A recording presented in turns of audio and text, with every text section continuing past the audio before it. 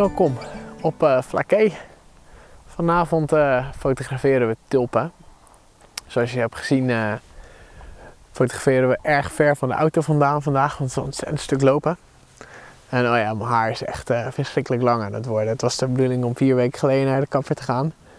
We zitten inmiddels vier weken voornamelijk thuis zonder kappers. Dus dit is echt... ach man. Nou ja, we moeten het er maar mee doen. Ja, zijn uh, vandaag uh, twee opties eigenlijk. Ik heb hier geel met rode tulpen. Ik heb daar achter jullie paarse tulpen. Ik heb een, ook mijn 50 mm lensje bij, mijn 1.8 lensje. Kijk of dat we daar ook nog wat leuks mee kunnen met uh, goede scherptediepte. En ja, vanavond is gewoon de bedoeling om lekker veel foto's te maken.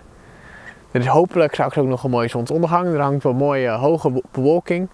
Niet zo heel veel op de horizon, maar wel wat. Dus hopelijk gaat de bewolking hierboven mooie kleuren geven. Ongeveer een kwartiertje na zonsondergang. Maar dat gaan we zien. We gaan nu eens beginnen met, ja, gewoon eens mijn camera pakken en gewoon maar een beetje fotograferen. En dan uh, zien we wel wat er gaat gebeuren vandaag. Zie jullie zo.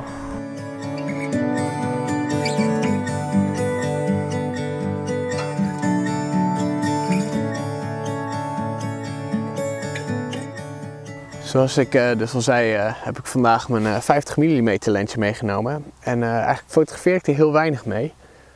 Maar het blijft wel echt een heel lekker lensje. Hij is echt mega goedkoop. Een Canon lensje van zo'n 100, 120 euro of zo. Maar het is echt super scherp. En het leuke eraan is dat hij 50 mm is. is een vaste brandpuntsafstand. Dus het enige zoomen wat je, wat je kan doen is naar voren en naar achter gaan. Je kan niet draaien, je kan niks ermee doen. Dus uh, ja, dat, dat vergt toch even wat extra aandacht. En het, het voelt wat meer speels aan dan uh, met een zoomlens moet ik zeggen. Ik ben foto's aan het maken van een aantal tulpen in de voorgrond. Ik maak daarbij gebruik van, uh, van de flare die de zon creëert op de foto. Um, ook om mijn ogen wat te sparen doe ik dat door de viewfinder achterop op het schermpje. Normaal zou ik door mijn viewfinder kijken, maar nu doe ik het met het schermpje. Zodat ik niet door een spiegel tegen de zon in kijkt. Dat lijkt me niet zo handig. Dus wat ik, heb, wat ik doe is dat ik een aantal eh, tulpen uitzoek die, uh, die mooi het licht vatten. Ik richt mijn camera net iets naar beneden. Zodat de zon van schuin boven in de lens komt. En ik laat hem met autofocus scherp stellen. heb ik een f van 2,8 zodat die tulpen die ik wil fotograferen scherp zijn. En uh, de rest eromheen mooi uh, uitgeblurred is zodat er wat focus komt op die tulpen. Misschien dat ik hem uiteindelijk toch nog iets ga inzoomen. Maar uh, ja, leuk begin.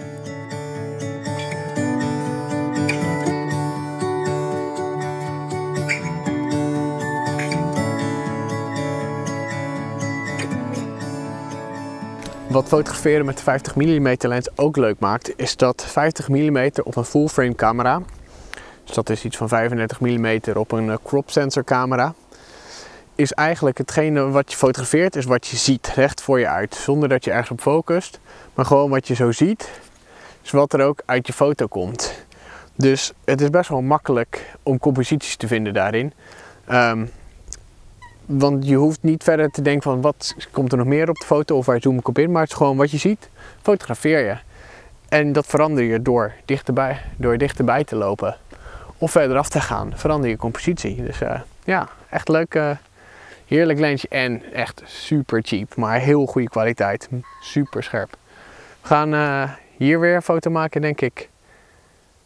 Um, maar ja, wat, wat, nu ook dus met 50 mm is, ik kan nu gelijk al zien dat deze compositie zo niet gaat werken. Het is te saai.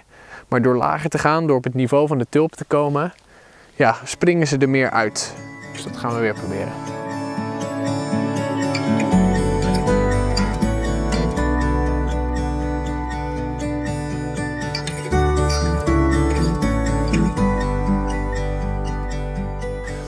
nog zo'n uh, dingetje wat uh, fijn is aan deze lens. Is dat de lens flare die erop zit, ontzettend, ik vind hem heel fijn. Het is een heel, het is een zachte gloed die er overheen zit. Ik weet niet of dat het komt omdat hij vies is, of wat dan ook. Maar het, het is echt een gloed die erop zit in plaats van puntjes en dergelijke. Zie je goed terug in, uh, in de volgende foto.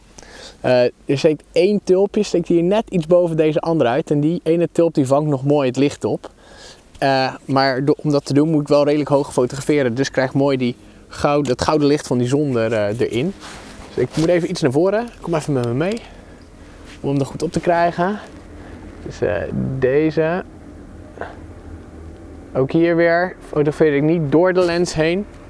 Door de viewfinder heen. Maar schiet ik, fotografeer ik met behulp van de, het beeld op de achterzijde. Wat natuurlijk voor de stabiliteit niet heel goed is. Maar wat wel uh, voor mijn ogen een heel stuk beter is. Dus dat is helemaal prima. Nice. Heerlijk. Het is, uh, ik fotografeer dus normaal eigenlijk altijd uh, met een statief. En het is gewoon heerlijk bevrijdend af en toe om even zonder statief te fotograferen. Om gewoon vanuit de hand te fotograferen. Ho. En durft verder zo meteen als de zon onder is en uh, de lucht gaat kleuren, dan gaan we het statief pakken. Want mijn sluitertijd begint al uh, wat langer te worden inmiddels. Dus, uh, maar voor nu, heerlijk, lekker. Lekker even losschieten, dat had ik even nodig. Dus eens kijken wat we nog meer kunnen vinden.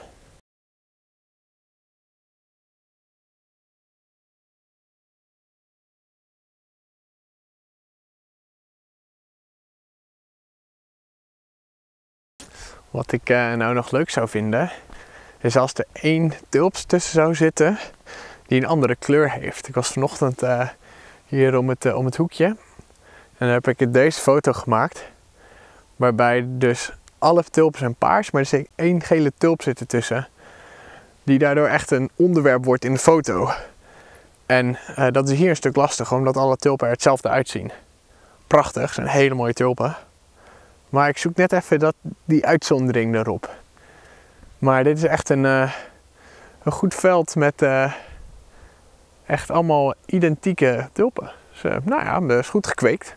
Laten we het zo zeggen. Dus kijken wat we nu gefotografeerd. De zon begint al behoorlijk laag te worden. Dus nou, ik denk dat we over een kwartiertje zonsondergang hebben. Ik verwacht wel wat mooie luchten. Dus nou, kijk ernaar uit. Maar eerst nog even lekker met, het hand, met de hand nog wat foto's schieten. Net nu de zon eh, begint te verdwijnen, heb ik hem gevonden. De, de andere tulp. Een helemaal rode tulp in een veld met rood en gele tulpen. Hij springt er niet echt lekker uit zoals ik had gewild. Maar toch gaan we fotograferen. Net een klein beetje licht. Ik heb hem net toch gefotografeerd hoor, met licht. Staat hier zo. Dat je hem kunt zien waarschijnlijk. Zie je niet, zou je hem zo even inzoomen. Dus we gaan hem dit keer even in uh, verticaal formaat schieten.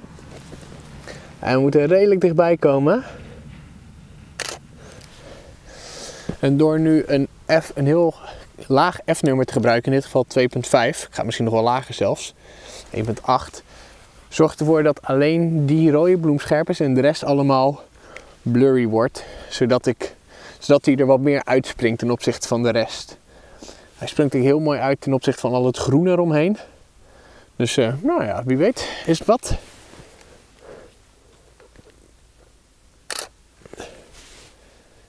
Ah ja, lekker. Daarnaast is de zon nu ook behoorlijk weg, dus ik kan weer gewoon door mijn viewfinder kijken. Waardoor ik weer wat meer stabiliteit heb. Ik heb wel gekozen om een ISO omhoog te schroeven naar 400.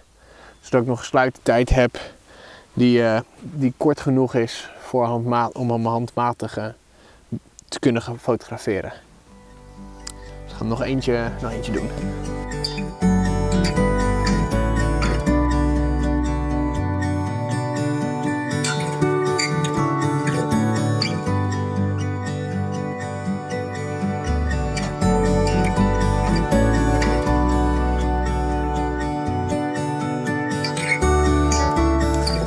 Wauw, het wordt uh, snel donkerder. Nou, en even zoeken naar een paar keer heen en weer lopen tussen deze velden heb ik denk ik eh, een plekje gevonden. De lucht begint nu een klein beetje te kleuren. Ik ben benieuwd of het wat wordt. Maar uh, we staan hier zo. Heel laag bij de grond. Zo laag mogelijk. Zodat die tulpen echt de meeste ruimte in het beeld innemen. Het is een beetje net als op, op het strand fotograferen. Waar je wil dat die lijnen de aandacht krijgen.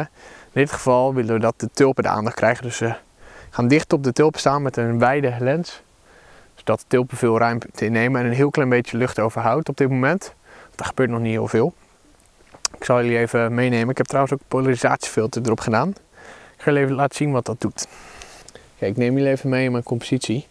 Um, in dit geval, hetgene waar ik het meest op heb gelet, is dat er een stukje terug stond er hier in beeld, oh, daar in beeld zeg maar in die hoek, stonden een aantal bosjes, waardoor beeld niet in balans was. Er was hier aan de linkerkant was er wel wat, maar rechts gebeurde er niks, waardoor het beeld wat uit balans is.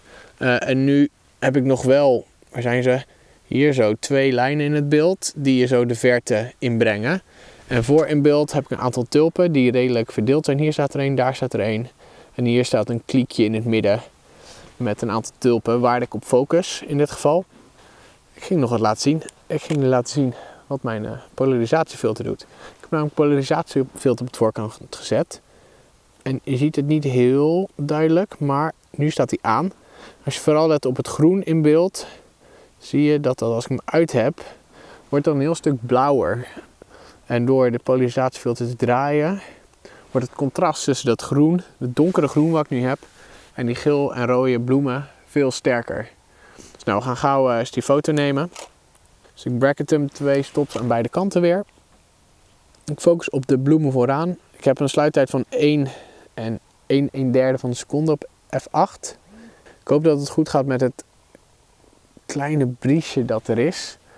Die tulpen die bewegen net iets kan betekenen dat de sluittijd te lang wordt, waardoor ze niet scherp zijn. Maar ziet er best wel goed uit. Oké. Ehm, wat ik hier bij deze foto merk, is dat die lijnen die ik je net aan heb gewezen, die lopen niet parallel door het beeld. Dus hij is wat scheef. Dat ga ik proberen aan te passen door de camera iets te draaien. Nou, en ook de camera zelf, waar die staat, iets te draaien. Anders kan ik die lijnen niet recht krijgen. Ik hoop dat dat qua compositie nog goed gaat. Zorg namelijk altijd dat je dat soort lijnen op de plek zelf goed krijgt. Kan je niet meer fixen in post. Dus zorg dat het goed staat.